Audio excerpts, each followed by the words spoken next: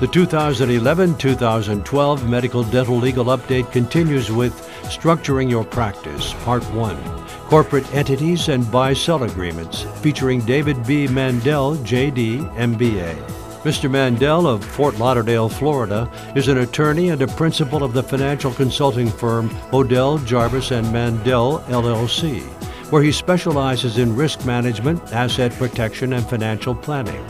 He has authored a number of books, including The Doctor's Wealth Protection Guide, endorsed by five state medical societies.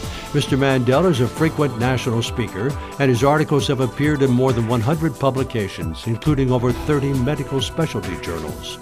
You may contact Mr. Mandell with your questions and comments at 877 656 4362 or by email at mandell at ojmgroup.com.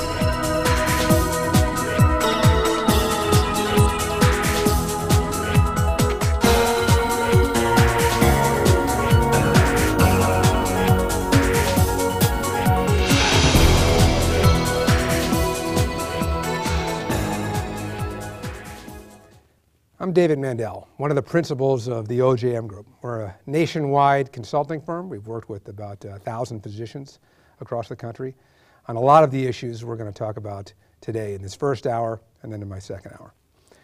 Today we're going to cover corporate structure, risk management, tax planning, and asset protection for physicians and medical practices. Before we dig into that, a couple things to, to start off with. First of all, as we see here in my disclaimer page, what I'm going to be speaking to you about are tax ideas, legal structure ideas, benefit planning, et cetera. And while these, this information is very important, you need to also consider that you want to work with a licensed advisor, whether it's our firm or another firm that's local to you. The tax ideas, the legal structures, et cetera, need to be implemented by an advisor who has experience and is licensed to do that. So keep that in mind as we're talking. Now, one of the things we've been doing since the very beginning, while we're happy to be here at AEI, as my, my second talk for the uh, forum, is we're educational based. We, we like to write books, speak at conferences, many medical conferences across the country, et cetera. And we've been writing books for physicians really since 1998. We wrote the first book on these topics called The Doctor's Wealth Protection Guide. Since then, we've been writing books that expand the topics and also do one, doing ones for specific states, like we've done a book specifically for California physicians, Ohio physicians, New York physicians, Georgia physicians, et cetera. And one of the things that we're going to offer as a thank you to AEI, making us part of the program, is a free copy of our latest book for doctors only. Now, if you're in one of the states where we have a specific one for you, we'll send you that one. So one of the things to make sure you do at the end of this hour, or at the end of the second hour, is make sure you take down our information or make a note to contact AEI, because if you let us know and contact us, and I'll give you our contact information at the end of the second hour, that you were here and part of the AEI uh, uh, forum, we certainly will send you a free copy of the book. And if you contact AEI, they will get in touch with us and we'll send you a free copy. So take advantage of that because certainly while I'll be able to cover a lot in the next two hours, it's not like a 300 page book that is divvied up into practice planning, asset protection, tax, retirement, investing, et cetera. There's a lot you can learn from those books. We encourage you to get a free copy. Now today, in the two top, in the two forums, I'm going to do a number of things. First, I'm going to define, define the environment very quickly here this morning. And then also, we're going to look at ideal corporate structures for medical practices. We're going to look at benefit planning, not only qualified retirement plans, with which most of you have, but also non-qualified plans, what are called hybrid plans, uh, very important, fringe benefit plans. Uh, captive insurance arrangements. Captives are something that have become more and more popular for physicians and medical practices over the last 10 years. I see more and more information about that every day. Uh, buy-sell agreements are something we're going to cover um, uh, here in the first hour, which are extremely important. And also, as we conclude the first hour, why do smart physicians with very good and smart advisors not get the proper advice? How do things fall through the cracks and why do they? And we'll cover that at the end of this hour as well. But first, a little bit of background.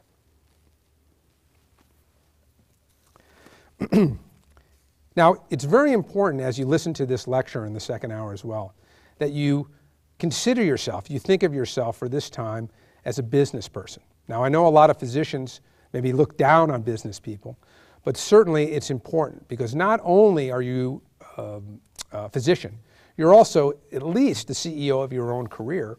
And if you have your own practice, if you're uh, an owner of a practice, you are literally the CEO or CEOs of your practice.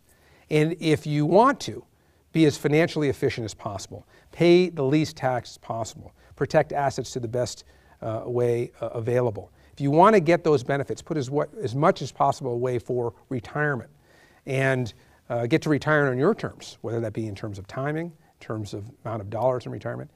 You need to think like a business person. So um, the other thing that's really important to realize about that is they're not conflicting. You can be a very good physician, and there's other speakers uh, uh, in this uh, seminar series, and certainly you do a lot in uh, CME programs, et cetera, to improve yourself as a clinician. And nothing I'm going to say today that I'm going to cover in the first hour or the second hour is going to affect or impact how good of a clinician you are. Everything we're talking about, you can see patients as often or as little as you want, spend as much time as them as you want. What we're talking about are ways that you can save, protect, and eventually have more wealth uh, given the amount of work you do and how good of a clinician you are. I always ask physicians who come to us in our practice, are the most financially successful physicians in your community, and you can think about this yourself, necessarily the best clinicians? Are they the best doctors? Most physicians, they come to me saying, well, no, not necessarily. They just happen to be very business minded, or they got lucky, or whatever the issue is. They're in the right specialty. So the idea here is you can do well while doing good. Do good Okay, as uh, uh, you'll hear in this lecture a number of times, I come from a family of physicians. Not only am I advisor to, in our firm, over to 1,000 physicians across the country in every state, my brother, younger brother's a cardiologist. My father's a radiologist who practiced uh, and still does for 40 years. My grandfather practiced all the way back medicine in the Depression. And so I know a lot of you go into medicine to do good, to help patients in an altruistic way. But the idea of doing well along the way is also important. And that's why we write books, that's why physicians come to us, and they see that you can do well while doing good and it's not a conflict. So I encourage you, not only today, to get the free book, but to begin to spend time working on your career, on your practice, not just in it. Extremely important. Now, a couple of thoughts about the environment we face ourselves here in 2011 2012. The medical economic environment, I don't have to spend a lot of time on. You know this. You understand healthcare reform is out there, whatever that means, and I don't think any of us know exactly what that's going to turn into. You understand that revenues uh, uh, may decline because reimbursements are constantly being cut and reviewed by the federal government. You understand that expenses are increasing because of technology, uh, EMR, maybe eventually they will reduce costs, but you have to make investments on the way in, and there's inflation and all of that. So if expenses are going up and reimbursements are going down, there's going to be a lot of pressure on you. Let me make a couple of other points on taxes. Maybe you realize this, maybe you don't, but half, nearly half, almost uh, uh, 49% of federal households or households in the US do not pay a federal income tax. Okay? Now, I'm not trying to be political, whether you're conservative or liberal or anything in between. Let's just look at the facts because you most of our physician clients are in the top two tax brackets. And we can talk about deficits and we can understand where the country's at, but let's look where the taxes are at, and then that'll impact where we're going in the next hour or two. So half of, the Amer half of American households pay no federal income tax. On the other hand, the largest taxpayers in the country, the multinational corporations, also pay no tax. In fact, if you look at this article that I referenced, you'll see that GE had over $10 billion, in fact, uh, close to $14 billion in income, 5 billion of which came from the U.S. itself, and they paid no federal income tax at all. In fact, if you dig deep into this article, you'll realize that they employ over 800 attorneys, tax attorneys, and CPAs in their firm. So when you think of GE, you might think of GE Capital or plane engines or toasters. But in fact, they're one of the largest tax firms in the world. And they're not unique. Almost all the multinationals have a lot of tax advisors on retainer or in-house. And so they're constantly trying to pay less tax. In fact, GE, with 14 billion of dollars of income, paid no federal tax, actually got a tax refund. So how does that, and what does that mean to you? How does that impact us? The way that impacts us is as high income taxpayers who don't have 500 or 800 advisors uh, trying to advise us on how to pay taxes. Right now, we're in a low tax environment, and they may, feel not, may not feel like it, but in the second hour, we're going to look at a chart of the federal income taxes for the whole 20th century, and you'll see why. So, taxes, in my view, are only going to be more onerous on those of us in the high tax brackets who are individuals. The multinationals are going to find ways to not pay tax. Most U.S. households, or close to half, do not pay federal income tax. So, there's going to be a lot of tax pressure on us. So, with revenue pressure and reimbursement pressure on physicians, tax pressures on all of us, and expenses uh, going up, being efficient is very important. And over the next hour and then the next hour, of the next two hours of my lecture, we're going to talk about ways to relieve some of that pressure, to protect assets, and be more financially efficient. Now let's first jump in and start with corporate structure. Now we see this slide here. It says how to not to structure a practice. Now I'm not picking on just medical practice. It could be any type of business, but I think see physicians really suffering from this problem, which is to have one entity and have it own all of their assets. And the problem with that, just like we learned in second grade, is putting all of your eggs in one basket. So the practice will own typically its most valuable asset, its accounts receivable. It will own its equipment. It may own real estate, and we'll talk about that's typically one piece of advice that physicians get to remove. But certainly the accounts receivable, and what is uh, that uh, subjecting those uh, assets to? Well, any type of claim. Certainly medical malpractice comes to mind because that's probably the largest uh, uh, uh, type of claim and frequency to a medical practice, but certainly also employee claims, whether they be employees suing a physician. I've had clients come to us, been sued for sexual harassment or wrongful termination. Um, uh, all of the assets would be subject to that. Uh, certain, also, um, liability because of a employee. So if an employee uh, does something to a patient or gets into a car accident while grabbing lunch for the practice, all of the assets would be, would be subject to those claims. And so really that is an, uh, uh, uh, um, a really dangerous way to operate a medical practice. Yet I, in my estimation, dealing with medical practice across the country, at least 80% are structured in that type of corporate structure. One entity, all the different assets. Now, what's, what, is, uh, what are your options even inside of that, uh, even inside of that context? You're going to have one entity. What are your options? Well, your first option is one I hope none of you have, and certainly if you do, you certainly should get some advice on why you may want to change that, is operating either as a partnership or a proprietorship. Okay, this really means having no legal structure to the practice at all. And amazingly, I still do talk to physicians who come to me, and they're operating in their own name as a proprietorship. Uh, every once in a while, I talk to physicians who are truly in a partnership. Now, we may say partner, he's my partner, et cetera, et cetera. But uh, what they really mean typically is he's a shareholder in the corporation. So a partner truly means you're in a, joint, in a venture to, to create a profit without any agreement, just a general partner. You might even have a general partnership agreement, but it's not a legal structure like something that's filed with the state, limited partnership, corporation, LLC. The problem with that, if you're in a partnership, you're liable for all the acts and omissions of all the partners. So if one of the partners you have nothing to do with goes out and signs a lease or sexually harasses an employee, your personal assets are on the hook. Okay? Terrible place to be uh, um, uh, protection-wise. Proprietorship, same thing. If you, if you operate a practice out of your own name on a Schedule C, all of your personal assets are on the hook for any type of claim. Now, certainly you might have medical malpractice insurance, but there are certainly claims that can come outside of that, and there are limits to malpractice insurance too. There's a lot of exclusions and coverage limits. So you'll almost never see an attorney operating at a sole proprietorship or in a general partnership. I've never heard of one.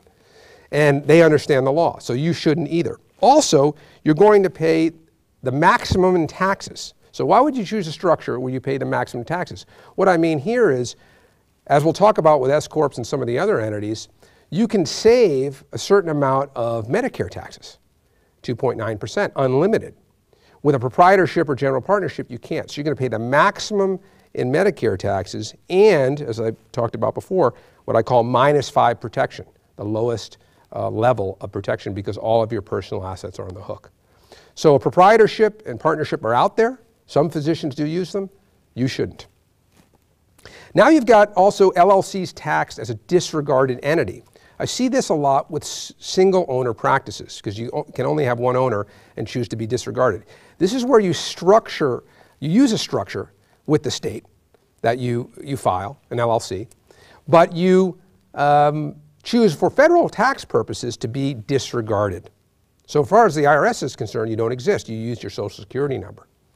The problem with this is it certainly invites an argument in an asset protection context that since you didn't get a tax ID number, don't file a separate return, it shouldn't be respected as a separate entity if someone's suing the practice. So you leave yourself open to an argument that you're going to be treated like a proprietorship in an asset protection context. Someone's suing the practice, they want to get to your personal assets. I can't point to a particular case where that's been successful yet, but I do think, given that there are cases in other contexts where the court has ignored single owner and disregarded entity LLCs. In other cases, not in a medical malpractice case, that that's a very real risk that I would uh, generally recommend clients stay away from by having that LLC not be disregarded, but have its own tax ID number. Yes, it costs an extra, whatever, $500,000, whatever the amount is to prepare a tax return. But to me, the cost of doing that is certainly more than worth the protection benefit. Again, the other problem with a disregarded entity is the tax. Again, you're going to be paying the maximum in taxes by using a disregarded entity structure because you have no Medicare tax savings. And again, we're going to talk about the, the S corporation in a second, which gives you that alternative. So you're talking about, again, a structure that may be simpler because you don't need another tax ID number, but allows you to exposure to, uh, from an asset protection point of view, and will make you pay the most in taxes because there's no Medicare tax savings. So again, uh, in our firm, we talk to a lot of clients with their own practice who come to us with a disregarded entity, and part of our process, we've got a couple of CPAs in-house, is to educate them why other options may be better. Now, what is the number one option for medical practices? In my estimation, about 70% of medical practices operate as S corporations. Many of you listening may have an S corporation.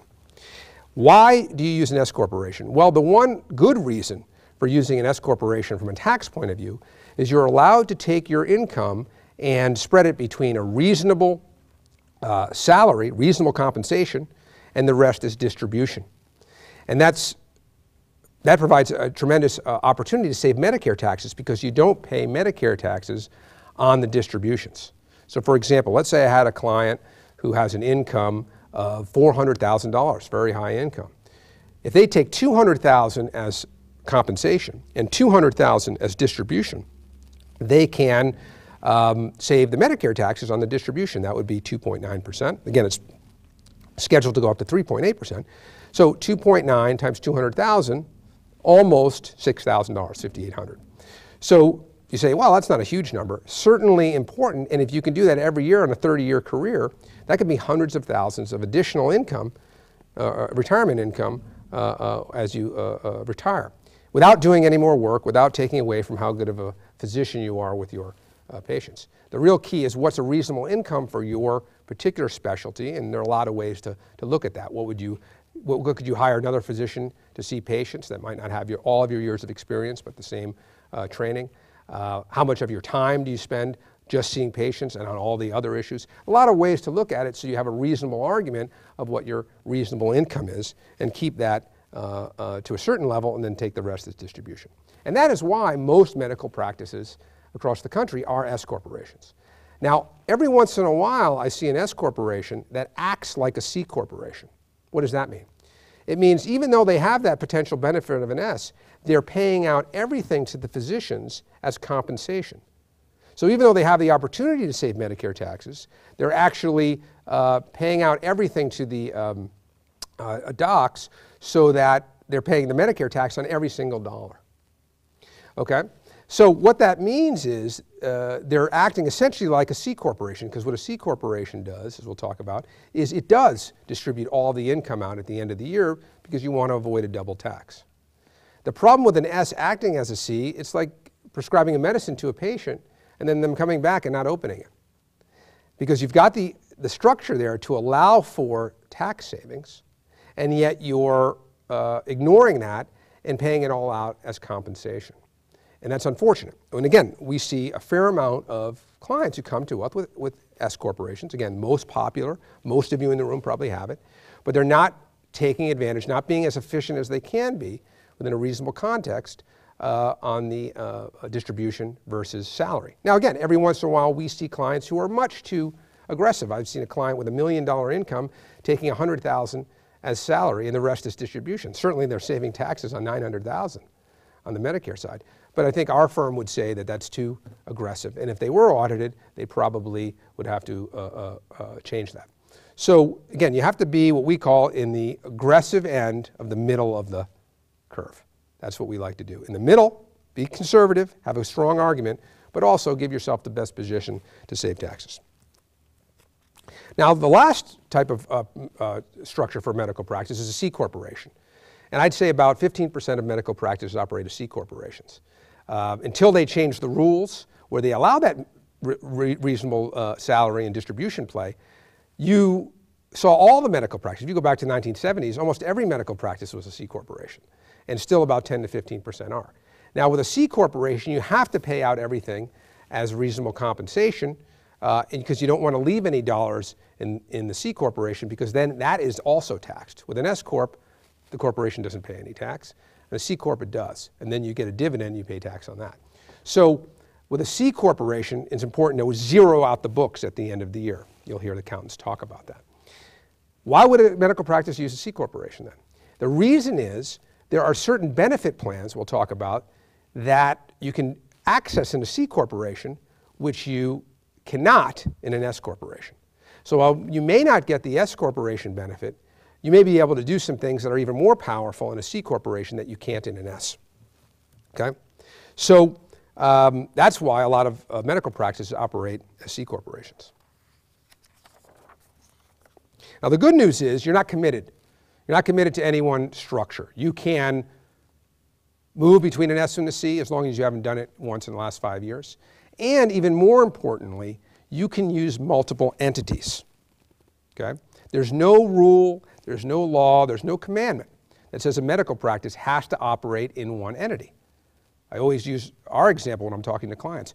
We have three principals in our firm. We have six different entities.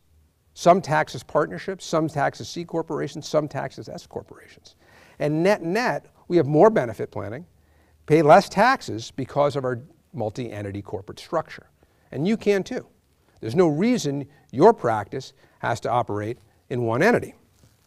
For most medical practices, again, for most, individually you have to talk to an advisor, they come to us as an S corporation. So what we're exploring is, is there a way and is there a reason to layer in a C corporation?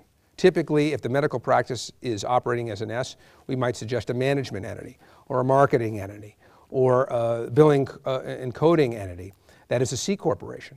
That way you can expose yourself to the tax benefit you're already getting as the S, hopefully you are, and if not, we're going to review that and make sure you are.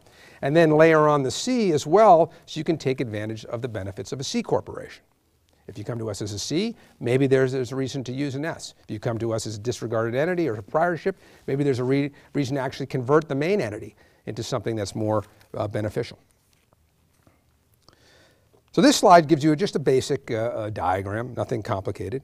But if you can use two entities, one as the medical practice entity, one as either management entity, billing, coding, marketing, whatever makes sense for your practice, and that's where, I, again, you have to be diagnosed and you have to be, get the uh, uh, treatment plan based on your specifics. Uh, you could take advantage of traditional benefit planning and the reasonable compensation rules on the S Corp and layer in some additional benefit plans that we'll talk about uh, either later in this hour or in the second hour. One particular plan we'll drill down on um, that's only offered to C corporations that uh, uh, can be a tremendous uh, addition to your benefit planning, something I use for myself. So um, keep in mind this structure and ask yourself, this is this something you have for yourself? Or have you even looked at it? Okay? That's important um, if you want to get, again, the most financial benefit, the least taxes, the most long-term benefit planning out of your practice. Let's talk for a minute about protecting your accounts receivable. As I mentioned before, the one structure, the most common structure for medical practice, one entity, all the assets. The main asset to protect is the accounts receivable. Okay? Now, some of you in states like Florida or Texas have probably heard of ways to uh, protect your accounts receivable because those medical state medical societies have been promoting a way to, pr to protect accounts receivable for the last 10, 15 years. And that's this structure what I call AR unrelated financing. Essentially, can sum it up in one word, a mortgage. You get a loan to the practice, use your, your accounts receivable as collateral for that loan, a mortgage, and then do something to protect those loan proceeds. Well, it happens to be in Texas and Florida, there's some very good state exemptions, so people would take that money and put it into annuity, let's say, that's totally protected from lawsuits. The problem with that structure, and a lot of physicians have come to us who put that in place over the years, is not the asset protection part of it. It is true, if you put, get a loan, third party to a bank, and it has a, uh, an, uh, uh, essentially a mortgage on your receivables, it's going to be protected against future lawsuits against the practice. That is true. But the problem is they've gotten underwater and they've actually done very poorly and lost money financially because they've been paying interest every year to the bank and sometimes the investments they've had, especially over the last 10 years, might have been flat. So you're paying 7% to the bank over 10, 15 years. You've actually paid out more than your entire principal. And your principal going into that entity may have not grown that much. So we've never really advised clients to do that, but a lot of you may have that in place or have heard about it. It can be done. So we take a look at this slide. You can do this correctly but you have to have the right expectations. You have to make sure that all the specifics, whether it be the tax rules, Section 264, again, very technical, or, uh, uh, but the key is a conservative investment, the proper loan terms, and that really means a fixed loan, um, uh, and having the right expectation that you're going to try to protect the receivables, but not try to get rich while you're doing it. Because if, you take, because if you're trying to get rich while you're doing it, what are you doing? You're borrowing money and investing it. Well, that's margin margin loans, right? So you take a lot of risk to, to get over that hurdle rate of the loan interest, because you got to do better than that, otherwise you're just breaking even. And you take that much risk, you can lose money. And that's what a lot of physicians are, have done. So it's certainly out there. I want you to be educated about it. I want you to recognize it. But probably for most clients, they're uncomfortable taking that kind of loan. Now, something I used to do when I was practicing law a lot is do the same structure but with a related lender, meaning it's really the physician's family themselves, or a bunch of the physicians getting together, would loan the money to the practice, and then the practice would put it in something that was protected. Could be a trust, could be an exempt asset, an asset that's protected under your state law. Okay? Um, but the loan now is either the family members or a limited partnership or an LLC that the family members have created. Again, did this mostly in small practices or individual practices, but it certainly can work. In this case, you're not so worried about losing money because you don't have to overcome the interest rate and be aggressive with those loan proceeds because you're paying the interest back to your family members. Okay? So the trust or an LLC that the family members own or the physician, they would uh, uh, loan the money to the practice. So you're paying interest at the end of the day to your family. And if you're doing that, then you don't care about um, uh, you don't need to be aggressive with the investments and you can still protect the accounts receivable. So for some of you, that might make sense if you're concerned about protecting your AR. One of the firms that came to us was a large OBGYN, uh, OBGYN practice with over 80 physicians and $25 million of receivables. They were really concerned about protecting their accounts receivable because any one bad delivery with 80 physicians, and again, uh, the odds are eventually they'll have some bad cases, unfortunately, just by doing that many. Any of that can be liable in that one entity structure. Any of those uh, lawsuits would have a good claim to that entire $25 million receivable balance. Even though there are 80 different partners, only one entity. So uh, they came to us when I was practicing law and wanted to protect their accounts receivable. And we um, actually helped them uh, in a structure that we call AR segregation. This involves not putting the accounts receivable uh, as collateral for a loan. But essentially, think about it. Once you practice, when you practice medicine, you see a patient, that's the practice of medicine. You get paid down the road. In the meantime, there's an accounts receivable sitting there. And you can factor those, you can sell those, you can get a loan against them. you can also separate the ownership of the accounts receivable into a separate entity. It doesn't have to be owned by the main medical practice. Okay? And this is very similar, we're going to talk, to in, talk about another slide or two, which is about um, how to protect real estate. Most physicians, most medical practices, from a large group all the way down to a small uh, practice, will get the advice don't keep the real estate in the same entity as the practice. Separate it and then lease it back. And so most physicians who have a medical uh, building or an office and they own it will have it in a separate entity, typically an LLC, and then lease it back to the practice. So if there's any claim at the practice, it's separated from the LLC. And if there's ever any slip and fall or problem with the uh, uh, uh, property, it's separated from the practice. That's asset protection right there. That's corporate structure right there. Well, you can do the same thing with your accounts receivable. It can be owned by LLCs that are owned by the physicians rather than the practice itself. And the difference with the real estate, the agreement between the two is called a lease, right? You have the LLC owning the property, you have a lease back to the practice. So the next day, the practice can still operate in the same environment. Well, here, you don't have a lease, you have what's called a billing and collection agreement. So that if there's no problem, there's no lawsuit, everything stays the same. Same account numbers, same Medicare numbers, et cetera. It's only if there is what's called an event of duress, a claim or important or a claim of certain uh, uh, uh, dollar amount, whatever you define it as with your lawyer. As long as you do that, if things you never have a problem, then the accounts receivable, everything moves just as it is today. Same accounts, same uh, uh, billing numbers, all the same thing. It just works as a safety valve that if there is that terrible judgment against the practice, then the accounts receivable are separated and need to be collected separate, and the, the person who has that judgment against the practice will not have access to those accounts receivable. So that's a solution, for example, that uh, the law firm I used to work with specializes in. And when we have a client who's interested, and you may be interested, we just refer them out to that law firm. It's, it's uh, probably, probably the best law firm in the country for doing that type of transaction. So for a lot of physicians who come to us who want to protect their accounts receivable um, and don't want to get a loan, that's a very good uh, thing to know about because it's not something that a lot of the medical societies are promoting. But a lot of physicians that have uh, worked with us or talked to us over the years have put that in place and they feel very comfortable that their accounts receivable are better protected than if they're sitting in the practice, but they're also um, not subject to a loan. Okay? Now, I mentioned in talking about accounts receivable, that's very similar to real estate. So we don't have to spend much time on that. Again, most physicians get the advice that if you're going to have a piece of real estate in the practice, keep it separate. And that's what this, this diagram uh, uh, really uh, uh, shows, which is you have the practice, you have the LLC, typically a limited liability company, is the best entity for owning real estate. You have the LLC owning the real estate, and you have a lease back, what we call lease back, back to the practice.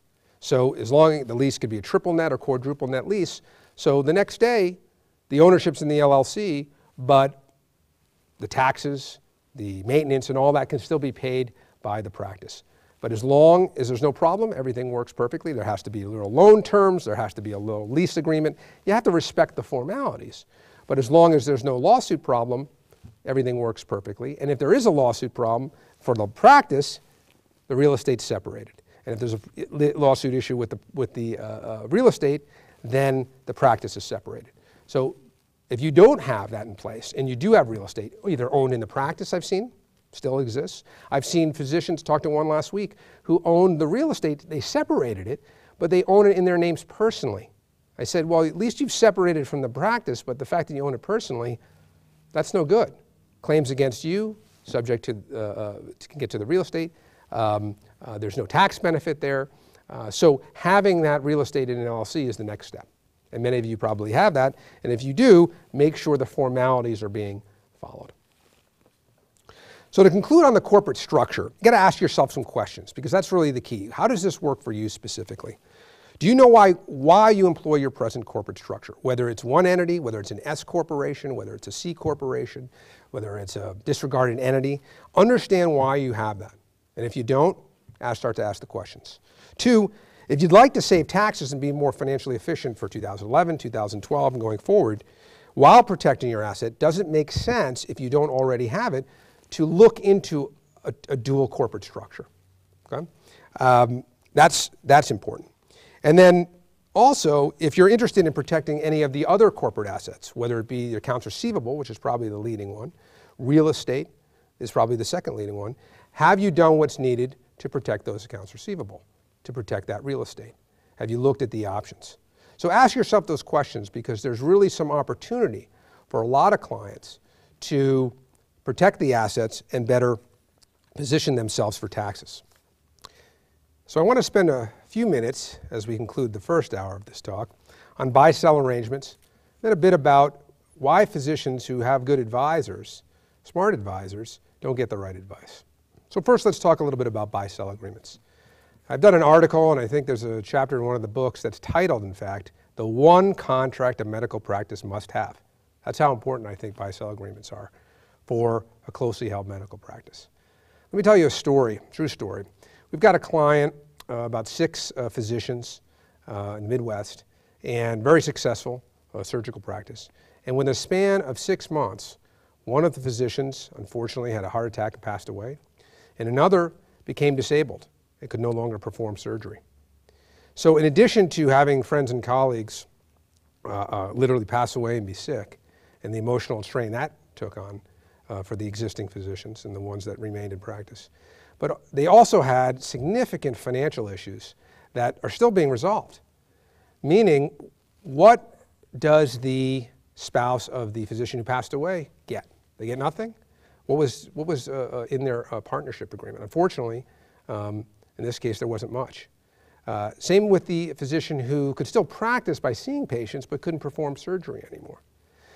The four who were remaining not only had to pick up the work of the two, not only were emotionally stressed because of personally what they were going through, also having to try to find and recruit other physicians to their town to, uh, uh, um, they were thinking about expanding the practice, but now just to, to uh, keep afloat, to keep above water. Then all these issues come up. What is the moral obligation, if any, to the family of the physician who passed away? What about the uh, physician who's disabled that can practice but can't perform surgery? How should they be compensated? All of these issues get extremely difficult when you're in the moment because there's a lot of emotions going on on both sides. The family that's now losing their breadwinner and they're looking for something. The, the, existing physicians who want to do the right thing but can't come out of pocket uh, uh, significantly to do much about it.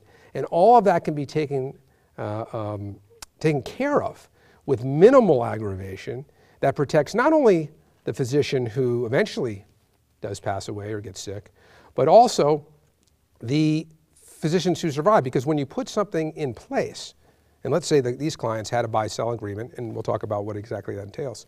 But if they had that in place before there was a problem, years ago, nobody knows. It could be me, of the partners, who gets uh, uh, sick or, or who passes away early, or it could be the other uh, partner. So there's no animosity in negotiating and putting together the plan because you don't know who it's going to benefit. And really, the, the, the big picture benefits both sides because you don't deal with these difficult issues in the middle of uh, um, uh, dealing with the loss of a, uh, a physician either for death or disability. So if you can put this kind of agreement in place before there's a problem, not only will the physician who passes away or gets disabled be better off in their family, but so will the practice. The practice will survive it much easier. It's already in place, there's no disagreement, everybody knows what to do. So what does a properly funded buy-sell agreement, what does it mean and what do you need to have in, in place there? Well, the first thing that's important is you need to have some kind of value put in place. And that might mean you go out and get a real valuation, or it can be more informal, a ballpark figure. Again, as long as it's reasonable and everybody agrees, you can use that as the amount. Because really what you want to also avoid too, and which I neglected to uh, mention before, is when that physician passes away, in some states, that ownership can be owned by the family. So now you've got another partner there. And especially if you're in a practice that has real estate, that has surgery center interests or other types of ownership that's not just the practice of medicine, certainly those can be owned by existing family members.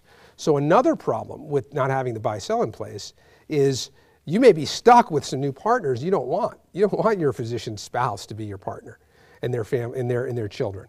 So if you can have this in place, not only can you avoid uh, acrimony and uh, litigation, but you can also have, a, a, with the right value, a position where you have the dollars to buy them out so you keep the ownership with the existing remaining physicians. Extremely important. Again, we have this for ourselves in our own practice. So you got to have the value. Triggering events are very important. A lot of people think of buy sell just for death, okay? If he passes away, what happens? But I think for physicians, disability is as important as death because, again, like the surgical uh, practice, the physician can, is still alive and healthy enough to see patients, and, but he can't perform surgery. So for them, for the, the uh, generation of revenue and all of their compensation formulas, it's just as important. Because if, they, if he can't uh, see patients and actually perform the procedures, he's not doing, he's not, you know, carrying the load of the other surgeons, and so certainly shouldn't be paid the same way. But how should he be paid, and, and, and how does that work? Those things need to be worked out in advance in the buy-sell agreement. Okay? Funding is absolutely crucial. And what I mean by funding is you have to have the right insurance policies to protect against that risk. Because if you have an agreement in place, it says, oh, this is what the value is and this is what the triggering events are, but you don't have the, the, the policies that are right in place to uh, uh, cover those risks, then you've just you've, you've solved one problem, which is defining what the values are and what the roles are, but you got to come out of pocket that may be millions of dollars. So um, having the agreement without the funding, and we see clients who come to us, physicians who've you know gotten the, the agreement together, but they never got around to getting the insurance policies together. That is like a trust without an insurance policy. That's like a, a, a, you know taking the medicine but not taking the right amount or taking one of two medicines. It doesn't work. And so um, for disability insurance, for disability, obviously the, the, the, the uh, mechanism for uh, transferring that risk to an insurance company is what's called a disability uh, income policy. And that way, the company can be paid or that uh, a physician can be paid and that money can be used to offset their lower income that's defined by the buy-sell because they can't do the same treatments anymore. And so either way you do it, and there are a bunch of different options, the funding is there to either cover the practice or make up for the shortfall for the physician. And everything is defined in the agreement. On death, obviously, the uh, right uh, uh, insurance there is, is life insurance. Now, again, uh, we don't have the time today, but there's different types of insurance. Term insurance, which covers for a certain period, cash value insurance, permanent insurance, which can cover all the way um, to age 100 and beyond. Typically, term insurance is very inexpensive and can do the, do the job absolutely fine. And so, uh, because you're trying to define, you're trying to cover over a certain period, that could be 10 years, 20 years, et cetera. At that point, the physician is probably phasing down their work anyway. And again, this is why it's so important. I can give you the general rules today, but to sit down with advisors, whether it's our firm or any other firm that specializes in this for physicians, and make sure that the agreement is in place and the uh, insurances match the agreement. They have to work in uh, uh, uh, coordination. That's why the team is so important. Obviously, you need an attorney. Okay, when I was practicing law, this is one of the things we used to do. Um, and you need someone local uh, who's you know, licensed your jurisdiction to put those buy-sells. And if it's something you're working with someone who's experienced, this shouldn't be very difficult. They should have some pretty good models of perhaps even what other medical practices have put in place. And then you need the insurance advisor. And the key is you need coordination. I can't tell you how many times clients come to us and they might have had a good attorney or they had a, a sharp insurance person, but there was no coordination. And again, if the practice is important to you, if protecting your family is important to you against these risks, then taking the time out of your busy practice and sitting down and saying, listen, we need to have a buy-sell in place. And it's not fun. No one wants to think about uh, becoming disabled or dying. Uh, you're not, you're not going to make any money on this. You're not going to save taxes like some of the things we talked about and that we will in the second hour. Um, but it's something that I think you really need to think about to protect the practice going forward and the headaches that can happen if you don't, and your family. So really, you know, make a note of that and make sure you have that in place. And the other thing is that even if you have a buy-sell agreement in place, it's good to review it every three to five years because of the value issue. Okay? You, you might have had a practice that was valued at X, especially if it has real estate and again another LLC or surgery center interest, et cetera. You know, five years ago, now it's in 2X, we hope, or one and a half X, or some you know, multiple of that. And if you've still got the numbers in there and the insurance coverages to match those numbers at the lower value, then if something happens, you're inadequately there. You're better than not having anything, but you know, perhaps that family is going to want more and there's going to be some uh, acrimony and perhaps even litigation there. Uh, so especially if you have if you have in place but you haven't reviewed it in a while, or certainly if you don't have a buy-sell agreement in place, put this on the list to bring up with your partners this year and get it in place. Now this leads me to the last topic we're going to cover in the first hour, which is why do doctors with smart advisors who are savvy themselves get poor advice. And um, I see this all the time. I mean, if you think of our firm, works with physicians across the country. We've been working with physicians I have for 17 years. And people who read our book, we've, so, you know, 20,000 of our books are out there. And again, you have the offer through AEI to get a free copy of it. And almost every physician who reads our book, unless they're just coming out of training, you know, already has a CPA, so or someone's doing their taxes. Uh, they might have an attorney that they'd use to create their legal entity, their corporate structure, or maybe a will or something like this. Um, they maybe have some insurance. They probably do if they have uh, disability insurance or life insurance. They may have an investment advisor. Um, and so why are physicians who have these types of advisors coming to us reading the book saying, I never heard of that before? No one's explained to me the corporate structure and, and some of these issues before. And the number one reason is coordination. I can't tell you how many times people come to us and they can tell me, and I'll ask the question, out there to the audience. How many times has your attorney who advised you either on the wills, trusts, or the corporate structure sat in a room with your CPA who does your tax returns and maybe does your financial preparation, uh, who sits down with your benefit plan expert, okay, who's a qualified plan expert who understands your 401k or profit sharing plan, et cetera, who's also in the room with your insurance advisor who advised you perhaps on life insurance and disability insurance, or maybe another insurance advisor as well uh, who advised you on uh, umbrella policy or homeowners or car insurance. And how many of them have sat down all together with your investment advisor uh, who is managing your money, uh, who may just understand the markets and investment? And maybe even have a financial planner on top of that, someone who's really looking at college education funding and financial projections. How often has that happened?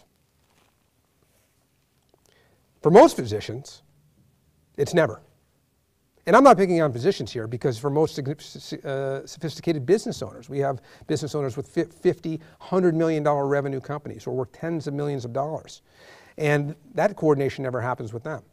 One of the things we try to do in our firm is build a firm where I don't like to use the word one-stop shop, but where you can have all of that, where you have attorneys and you have CPAs and you have qualified plan experts and you have uh, uh, non-qualified plan experts, and CFPs, and our whole money management division that has PhDs, et cetera, et cetera, portfolio managers, and have it all under one roof.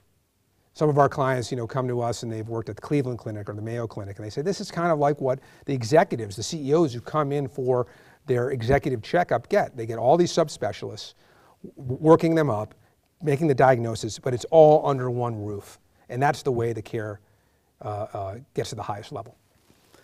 So if you don't have that, how can you expect, if you're not having that coordination, even if you have the right, um, uh, you have smart advisors, they can't come up with the ideal solution for you.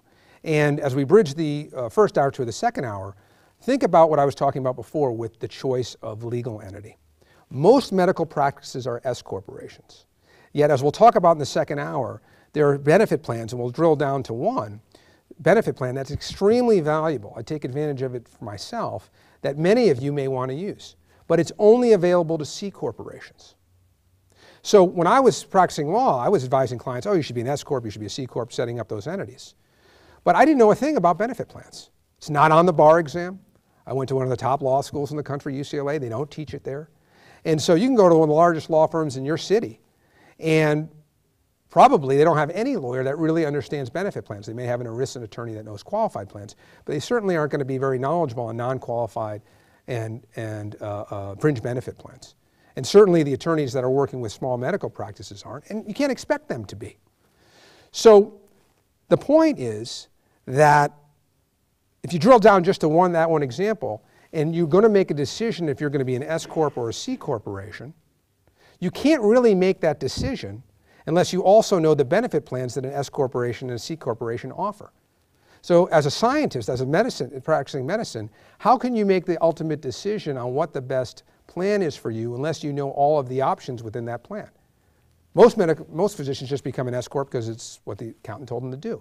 But they haven't looked at all the benefit plans, so they can't work backwards to decide what's the best structure and then implement it that way.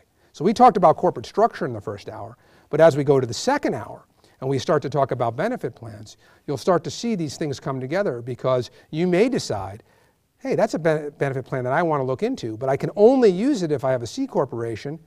That leads me to a discussion on my corporate structure. Maybe I should think about a dual corporate structure and a C corporation.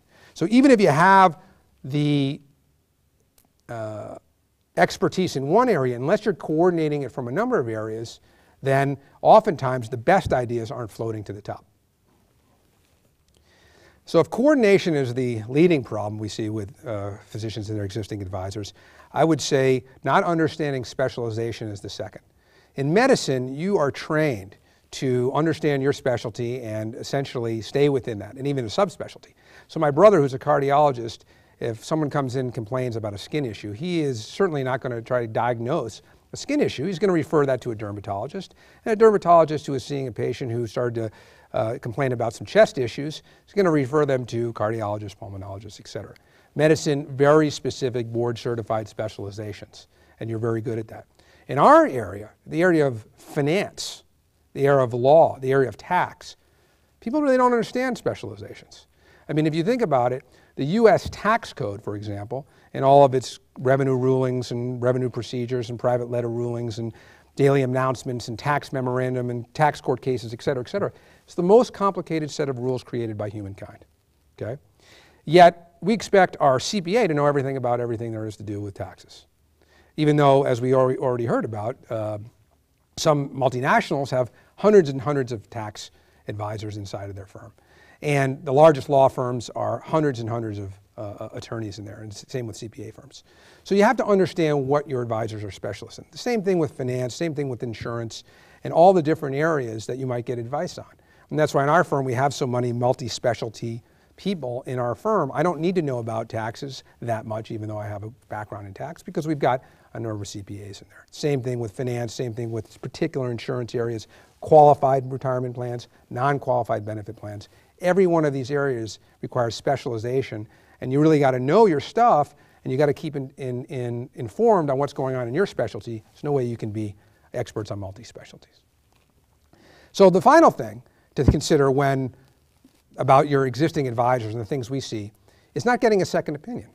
Again, it seems so, it, it seems so uh, um, obvious, but I'll tell you a true story as we wrap up here. When I was at a, the law firm in New York City, the first summer I was there, we had one of our largest clients, multi-million or $100 million client, who decided for some uh, reasons that he thought he might get audited and, and, was concerned about what was going on in his different multiple companies. And so the attorney in our firm actually, with my help, oversaw an audit of all of their CPA firms. They had a number of different ones, including some that were as large as 500 CPAs, because they were concerned about what if we get audited. And we look back a number of years. And what the attorney on uh, uh, leading that found was that a client, by doing some different depreciation deductions and some different characterizations of their uh, partnerships, they had about 50 or 60 different entities, would it, would it be able to file for a multi-million dollar refund. So not only were they sitting on perhaps a problem with a tax audit, but they actually could, could uh, restate their returns and get dollars back from the government. Well, needless to say, that client was very happy. And it took that client years and years, and just because of you know, one reason, to spend the money, in that case hundreds of thousands of dollars in legal fees, to oversee that audit. How many of us have done that? How many of us have had someone else take a look at our, second look at our investing or our tax returns or our legal structures or our corporate structure or our benefit plans? And if you haven't, how can you know? Uh, this client who's you know, seemingly in you know, New York City metro area worth hundreds of millions of dollars was sitting on that kind of opportunity I'm not saying you'll have that same type of uh, uh, uh, result, but certainly the idea of getting a second opinion, very few have. It's certainly important. You do it if it was a serious medical condition, and certainly your wealth care is as important as your health care. And that's why I think a lot of you are uh, paying attention and, and, why this is important. So as we wrap for the full hour, um, covered corporate structure, how to protect assets, the different options, not only from an asset protection point of view, but how to be more tax efficient.